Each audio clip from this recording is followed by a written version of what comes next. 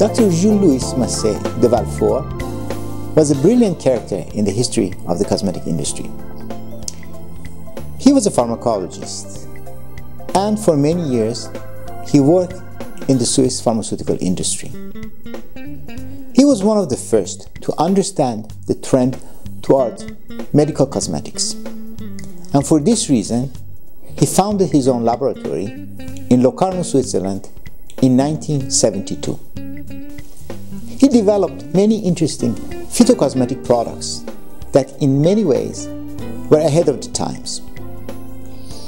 He was thinking bio back in the 70s, long before anybody had any idea what it was about. The names that Dr. Masset chose for his product lines like Bioregen, BioClean, BioVanac, or BioLastno are still with us, and they are an integral part of our offerings. Due to age and health problems, Dr. Masset had to retire from business. Unfortunately, around that time, his laboratory was acquired by a company, Cholley. We have taken the work that Dr. Masset began to new heights. And as our business continues to grow, we look forward to bringing the best of Swiss phytobiological cosmetics to very exigent clients across the world.